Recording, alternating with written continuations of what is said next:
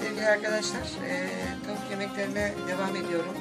Ee, şu anda e, 4 parça incik e, etimizden, tavuk etimizden hemen tavaya altına e, tereyağı koyarak bir yemek kaşığı tereyağını sadece ısıtarak e, e, yani iyice kavrulmadan patatesleri ve havuçları yerleştirdim. 3 tane patates kullandım. 2 tane havuç kullandım. Şimdi üzerlerine hemen tuzunu ekip böyle e, gerekli malzemeleri koymak istiyorum. Şuradan e, biberlerden kenarlara hemen yerleştireceğim. Vitamin deposu bir e, yemektir ve e, haşlanmış e, izlenimi verir. Neden haşlanmış izlenimi verir? İki tane mantarımızı hemen üzerlerine yerleştiriyorum, serpiştiriyorum.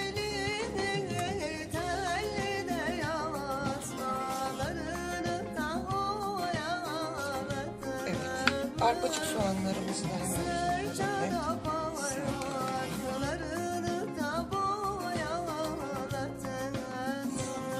Sarımsakları hemen koymayacağım. Sarımsakları indirmeden evvel üzerine e, e, doğranmış vaziyette atacağım. Şimdi e, domateslerimizi bir yerleştirelim.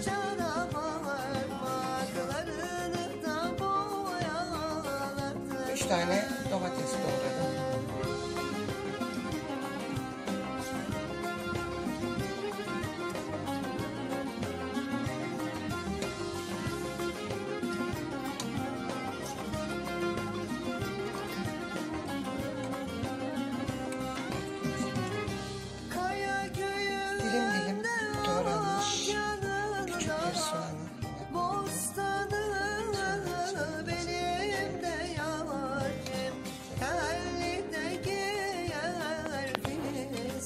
kızartmalardan ziyade böyle kendi buharıyla pişen bir yemek.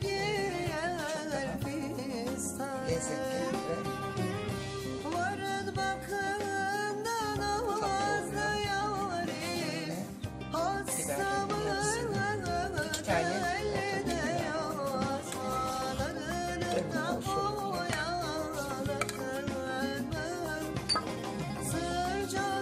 Hem e, domates salçasından hem birazcık da biber salçasından bir Nescafe fincanı.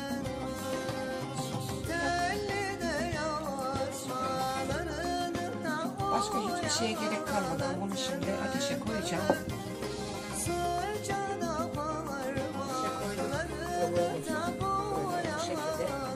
Zahmetsiz. Çalışan kadınlar için çok kolay birebir bu şekilde pişecek. Ee, tıkırdamaya başlayınca hemen e, şey yapacağız, e, kısacağız altını. Sevgili arkadaşlar çalışan hanımlar için birebir çok hızlı ve e, çok pratik bir tarif. Belki bildiğiniz bir şey ama ben yine de sizinle paylaşmak istedim. Belki bir eksik bir fazla siz e, nasıl yapıyorsunuz bilmiyorum ama ben incik e, tercih ediyorum. E, derileri alt kısma gelecek şekilde yapıyorum. İn, e, incik. Derileri alt kısma gelecek şekilde koyuyorum. Sonra indirmeden e, 10 dakika önce 4 diş sarımsağı, doğranmış sarımsağı üzerine atacağım. Kısık ateşte pişinceye kadar kapağını hiç kaldırmayacağım. Sarımsakları atmadan evvel tabii altlarına bir bakacağım. Kontrol edeceğim. Hem hafif demlenmiş oluyor hem de e, derileri de kızarmış oluyor. Çok nefis bir tat tavsiye ederim. Ayrıca e, bu tarifi e, incikle yapmak istemezseniz bagetle de çok güzel oluyor. Yani tavanın aldığı kadar baget koyabilirsiniz. Afiyet olsun.